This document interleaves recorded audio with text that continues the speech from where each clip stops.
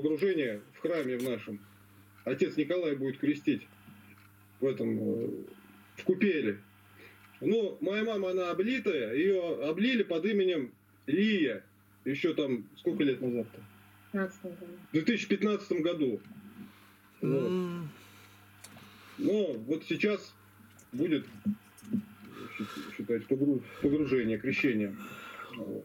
А кто, ну, ролик, кто ролик выставил, как Алфеев ребенка крестит?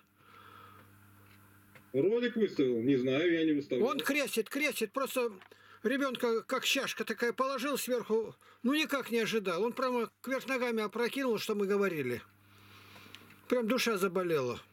Никаких причин нету, кроме безумия и проклятия Божие. Должно быть полное погружение. Так и называется погружение. Другого перевода нету. Евнух и Филипп сошли в воду.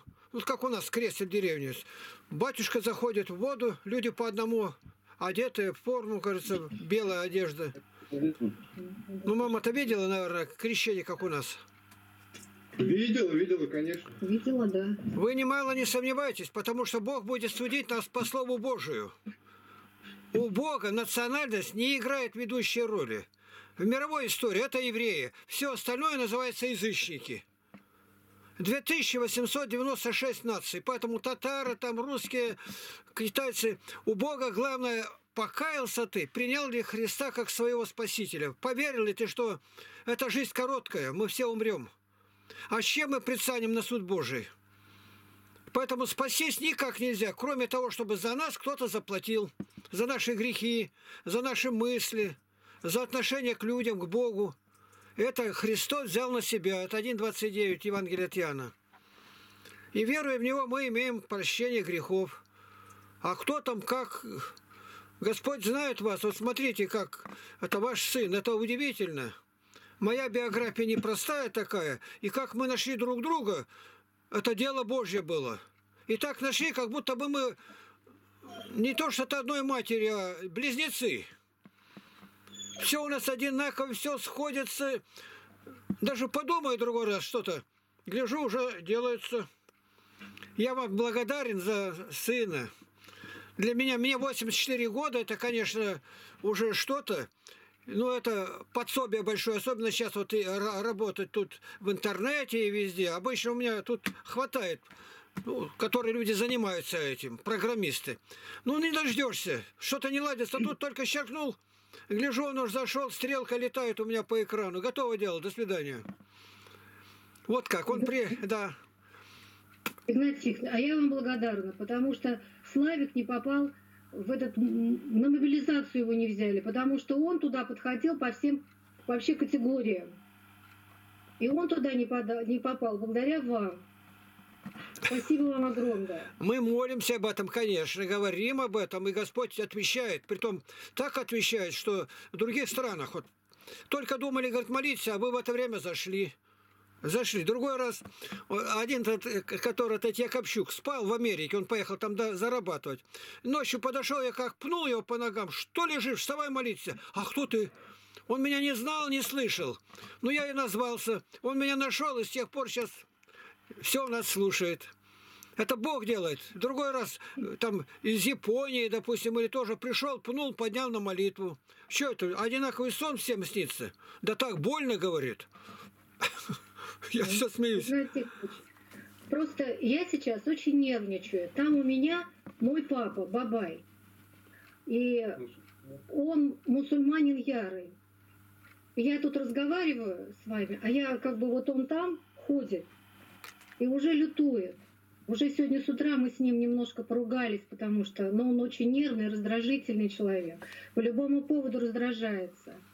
И все вот то, что я с Христом, то, что у меня такой сын, его это очень выворачивает наизнанку. Просто раньше была мама, я за ней ухаживала, и какой-то был буфер вот того, той, той энергии, которая исходит от него, все-таки она так немножко брала на себя. А сейчас это все вываливается и тяжело. Мне хочется бесконечно сразу же бежать из дома.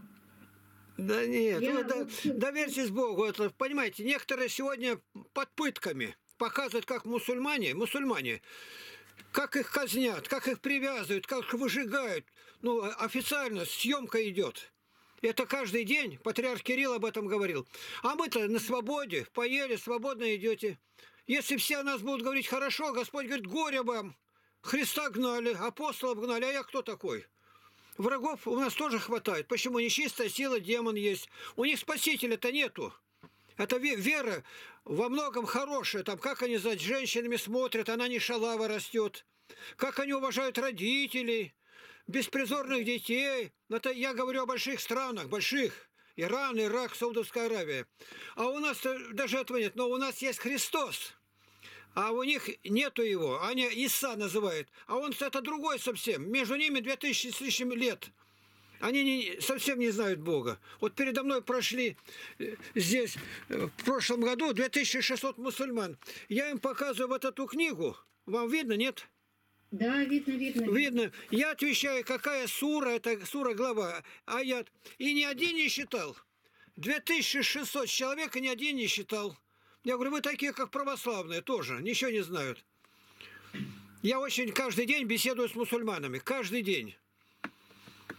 Я знаю, о ком говорю. А одно, что у нас Спаситель Христос. Вот я служил в морфлоте, а потом на, на Балтике работал, когда я обратился в 24 года. 23 я было. Знаю ваш да. И вот я говорю, вот мы с мусульманином там это, вместе с моим Махмуд, я говорю, сейчас волна поднимается в море, это там цунами другое, и нас сбросило. Корабль только видно, уже огни его, а лед плавает лединки плавают, больше пяти минут не прожить. Ты спасен или нет? Он не знаю, а что нужно добро делать? Ну какое добро, когда мы в океане одни? Не знаю, говорю. А я только сейчас вот говорю, Господи, Ты умер за меня и кровь свою пролил, страданием на кресте меня Ты искупил. Благодарю Тебя, Господи, прими мою душу. Тело потом воскресит, Господь поднимет. Его рыбы сидят, а Господь его целым сделает. Которое не будет ни гнить, ни стареть, ни болеть. День, ни, ни жару нету, ни холода, прохлада, как говорится. Вот я говорю, теперь давай, ты успеешь сказать, говори. Господи, прости меня. Тебе, ты не бойся никого, потому что никого больше нет, мы людей не увидим. Ты понял? Вот понял, вот видишь как. Они, эти люди, очень благодарны. У меня дедушка был по матери, мать у меня Мария Егоровна, это Егор. И там проезжали какие-то с Казахстана. Куда они ездили, я ничего не знаю. А дед мой держал пчел. Он им и скотину покормит, а он жил на самом отлете из деревни. Ну, их не принимают, басурмане. Кого с ними разговаривают? Они же не православные. А дед мой так не рассуждал. Он их накормит, напоит не за деньги. Ну, они такая, как-то он поехал и попал в их аул. Они с телеги стащили на руках по всему аулу тащат и кричат, это тот, который нас принимает. Вот видите, нас сродняет доброта. Это у меня, видимо, от деда такой есть, я близкий к мусульманам. У нас были, вот принимают крещение даже было, и принимают Христа. Другого выхода нету, он один. Я не знаю, это шов-то этот, Езра-то, он тоже как-то, наверное... Ну, он там что-то, да, у него, ну, у него вот, тоже все. Да. Поэтому ни грамма не сомневайтесь, если мать, она вам в тягость э, не была.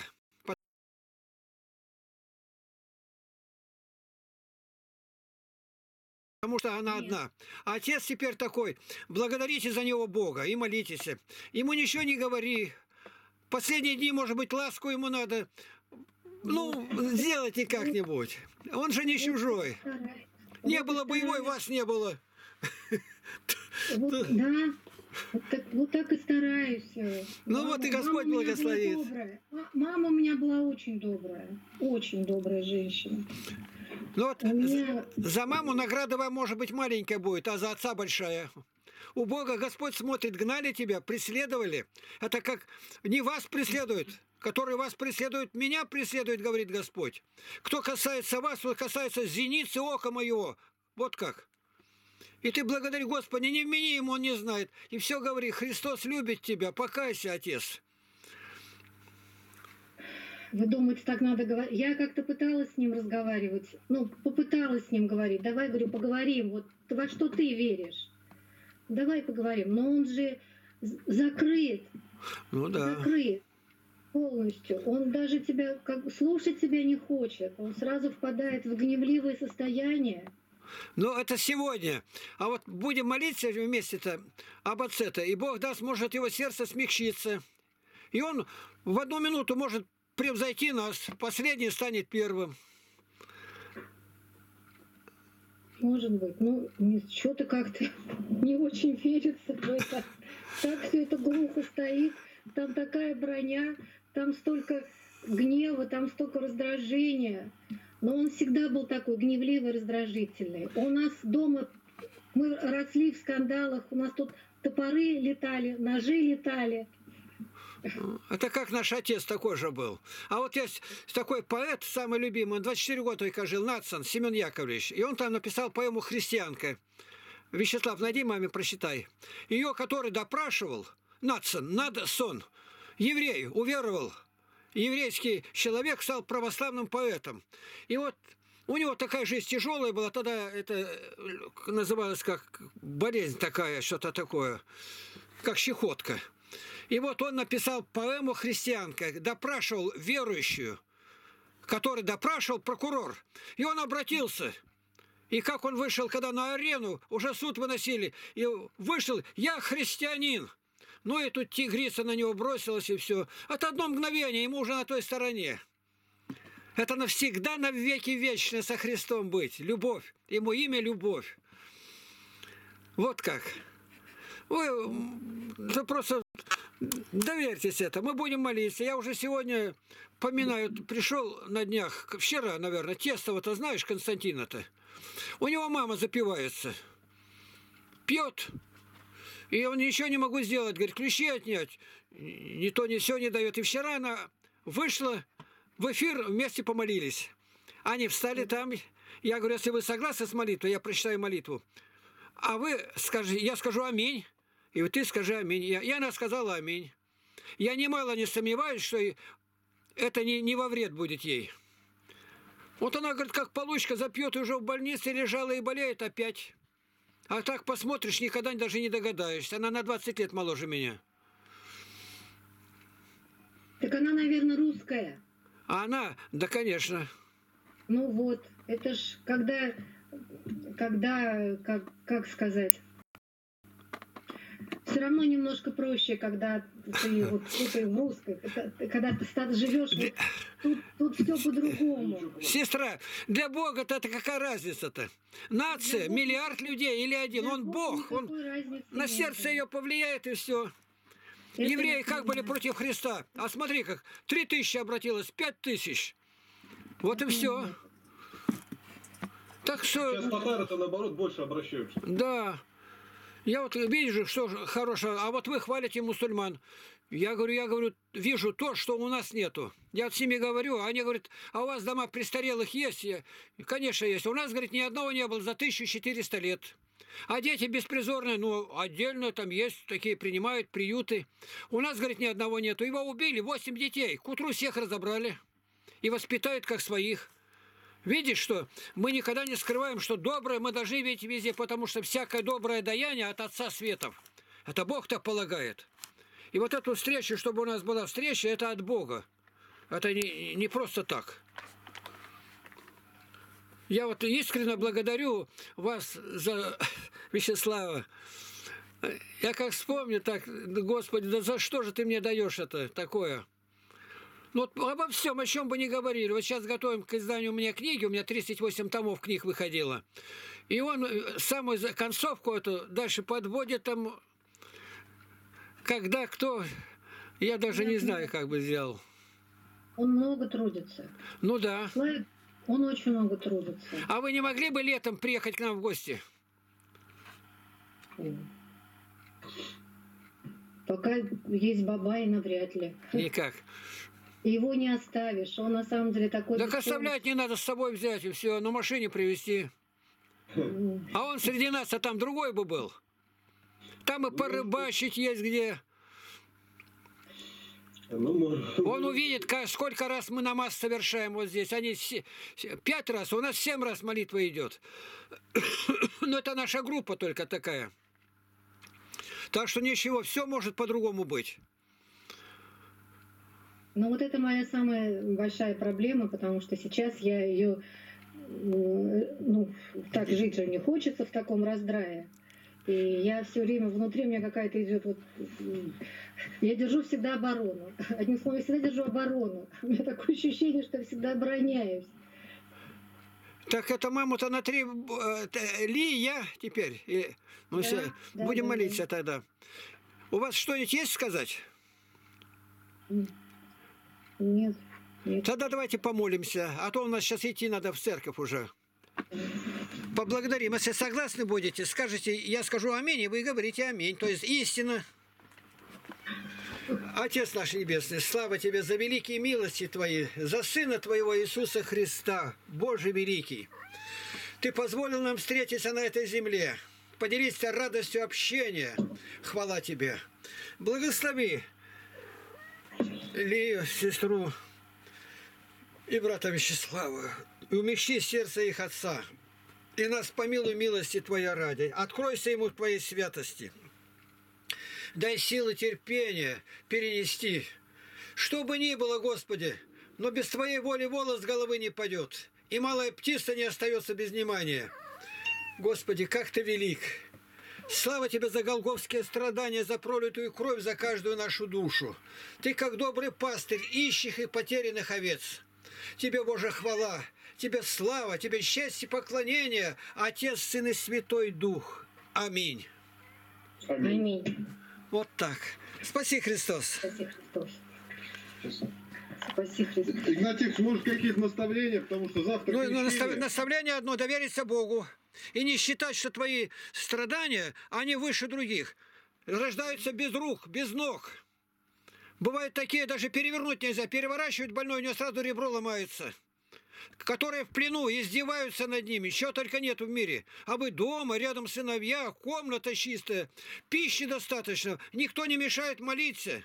Мне вот Бог позволил пройти по пяти тюрьмам. Ну, там невозможно, кажется. Я заходил уже к вечеру, буквально вся тюрьма слушает. Это Бог делает так. Он видит мою немощь, людей смиряет. И начальник. А ведь я говорил против партии. Начальник вызвал, это вы сказали, что конец КПСС. Ну, я говорю, Христос воскрес. Вот так, понимаете, в рифму подходит. Мы вас знаем здесь. Я говорю, Библия говорит? Библия? Ну, наверное, так и будет. Сразу прям мгновенно переменился. Одна женщина водила, э, вызывают кого-то, а посылают, ну, дубаки называют. Она по форме одета, небольшая, ее Эльза Кох звали.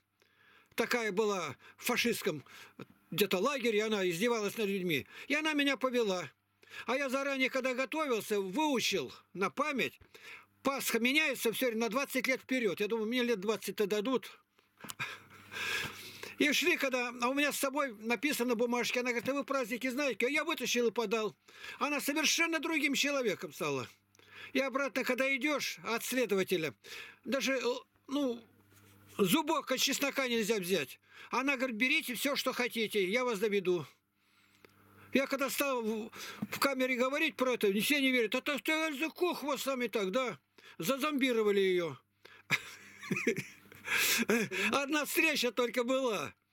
Охранники откроют камеру и стоят, слушают. Один слушал, слушал, когда воскресенье, а кормушка открыта, куда иду, подают. Он вот так, как хлопнул, вот такой кусок сыра мне. Ну, прямо. А я его обличил, я говорю, вы материтесь? Я говорю, это как одна крошка хлеба в тюремной параше, не поймаешь, о чем ты говорил-то. Вот так тронул, он у меня сыру кусок. И когда мы были у мусульман, у нас миссионерская поездка была. Я сейчас не помню, это Да- Дагестан или что-то там было. Как они нас приняли. Мне говорили, вам охота умереть за Христа. Ну, молодых-то зачем с собой берете? Ну, шофер и второй проповедник. И вот мы в Чечне. В Чечню нельзя ездить, головы режут. А с нас приняли как родных братьев.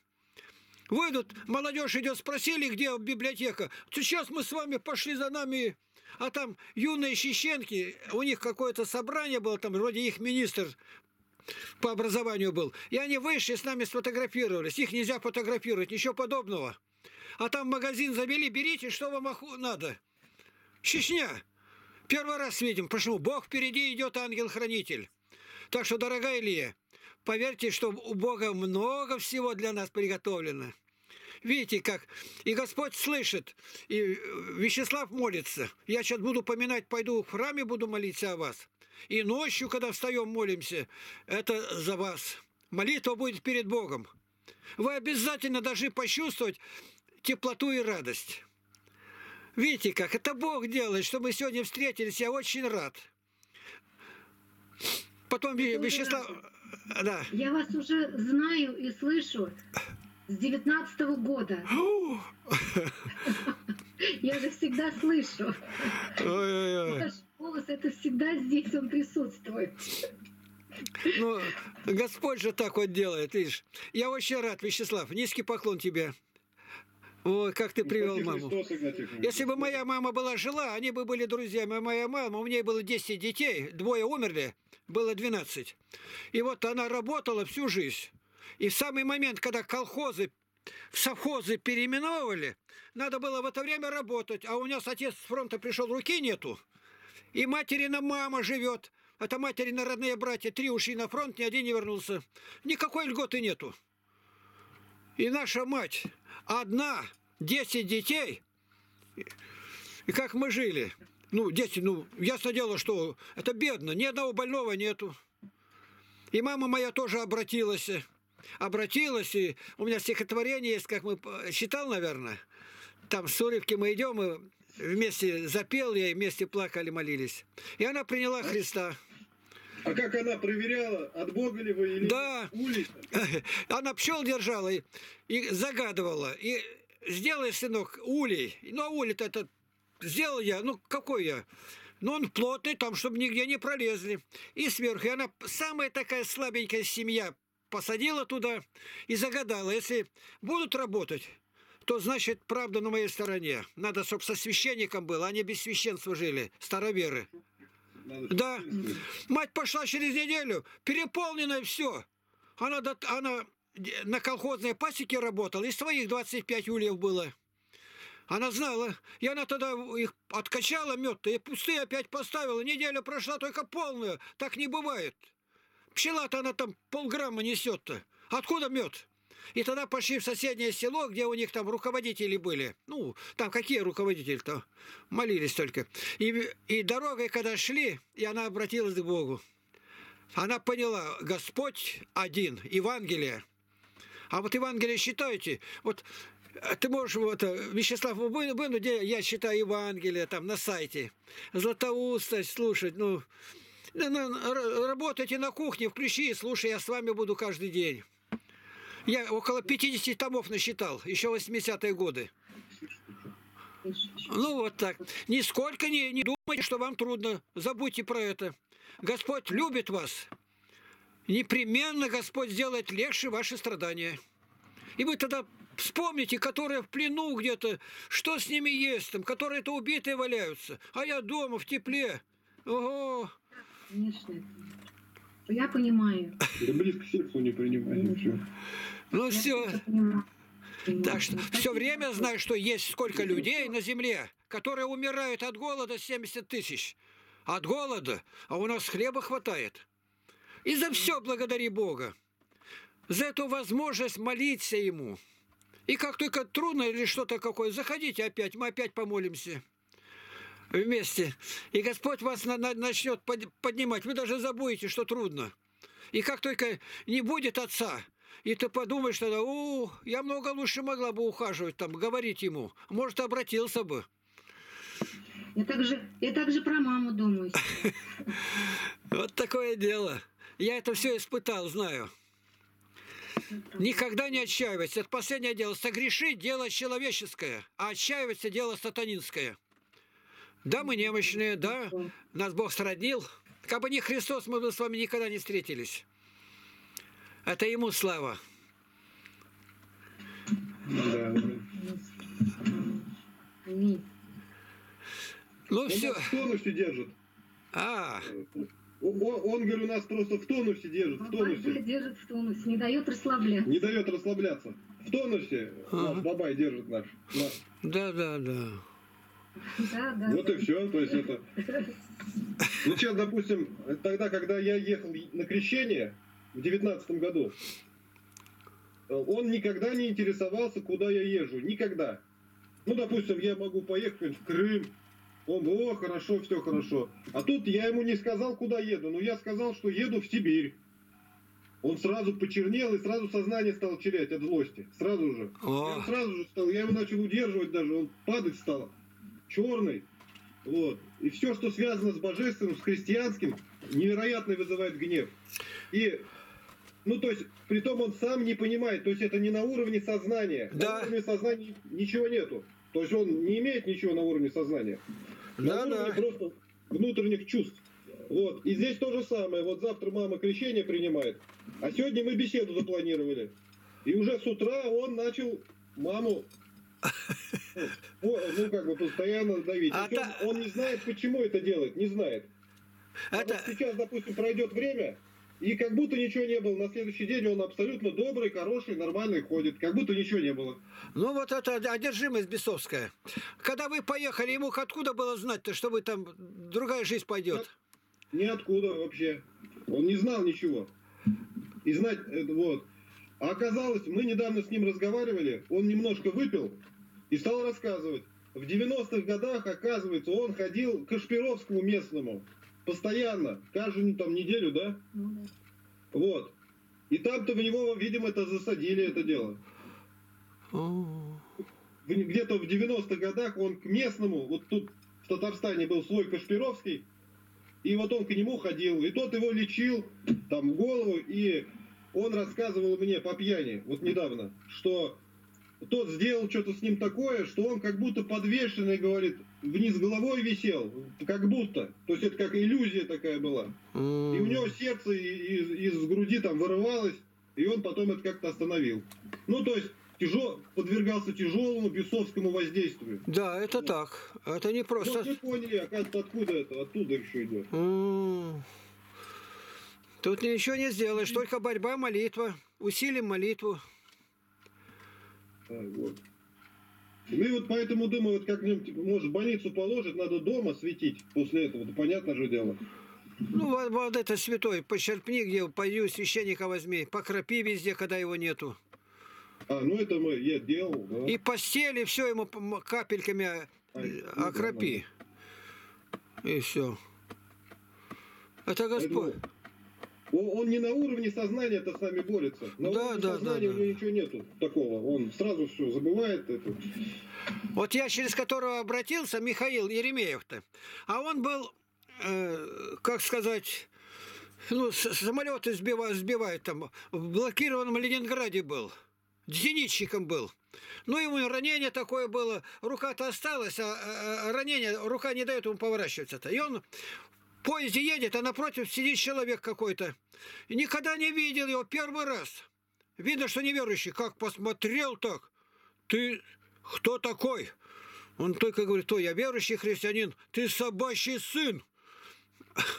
Увидел руку раненую, собачий сын. И ничего никак нельзя. А другой человек обращается к Богу. Вот у меня в стихотворениях там есть. Сколько, какие люди. Это Бог делает, поэтому Он знает наши силы. Другой говорит, я бы это не выдержал, тебе и не дается, тебе дается другое.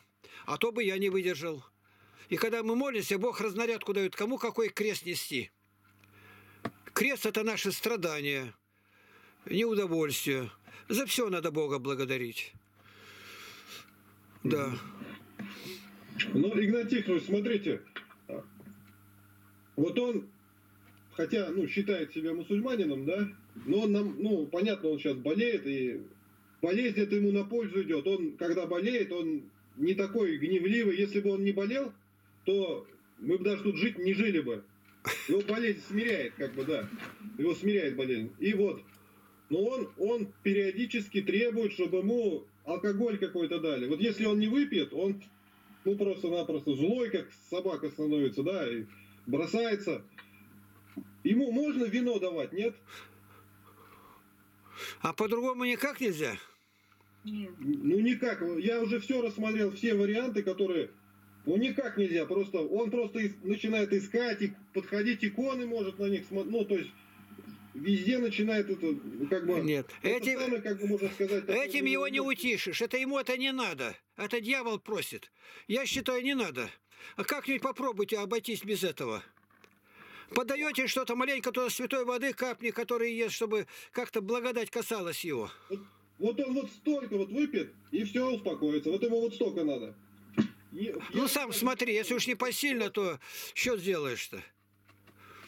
То есть вот, ну, ну никак вообще. Я, я-то, он меня просит постоянно, я-то никогда никуда не хожу, ну, ему ничего не покупаю из такого. А вот мама, она хо- ходит и принесет ему иногда. Я тоже, я думаю, не грех ли это? Вы видите как? Если э, ну, блин, скажет, аппетита нет, вино, то у нас не запрещено у православных-то. Разрешается. Там сколько там, я, мера она не Я дается. говорю, что вино-то вроде как можно, но Да, раз- А- лишь бы а- не а- другой а- алкоголь был. Я тоже отцу приносил, когда приезжал домой. Ну, его состояние такое было. Он... А потом все отошло от него. По-другому стал. Сам посмотри, помолись, как я не могу на этот вопрос ответить, я их не знаю, не видел. Я бы встретился с ним, пожелал. но глухой тоже. Это я вот с вами разговариваю и всегда громко кричу. У меня, потому что привычка, у меня два дедушки, оба глухие. Ну, кто его знает, как говорит. Не пренебреги в старости, когда умом оскодевать будет. Ну, я говорю, три, три глухих, это значит кричать приходится. Да, так. Спаси Христос. а потом сам кричишь из-за того, что громко, и сам из этого заводишься. Потому что говоришь-то громко. Вот у меня кто-то скинул мне один, одну проповедь, и там сделал желтым. И я никак не могу эту желтизну убрать. Когда будете, потом сами уберете. Ладно. Как-то не навели ее, ни Володя, ни я не можем убрать. Обычно делает синий, или как там я переведу на черный, нормально будет. Вот. Ну тогда ладно. Ну ладно, все. С Богом. С Богом. Храни вас Господь. Да благословит Господь и смирит Отца. Богу слава. Аллилуйя.